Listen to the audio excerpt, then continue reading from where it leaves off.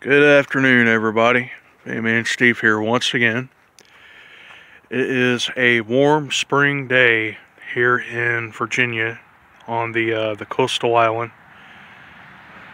This is our our tulip poplar tree, and from what I'm seeing here, we're getting some uh, we're getting some blooms, and they're blooming up pretty good.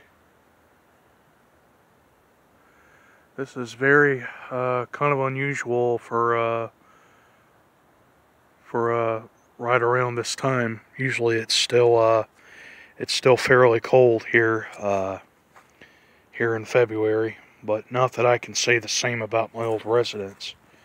You can see some flowers there in the grass.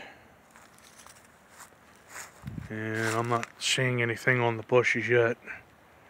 This is our uh, this is another one of our other trees here. I don't see any blooms on it. I do see some blooms up there. I'm not exactly sure if you can see it.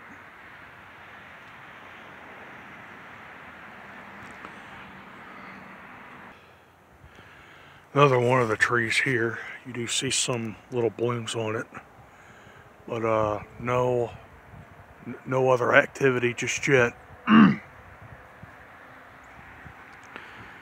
It's a nice, uh, nice touch of spring. Hopefully a frost uh, shouldn't come along and, and knock it all out.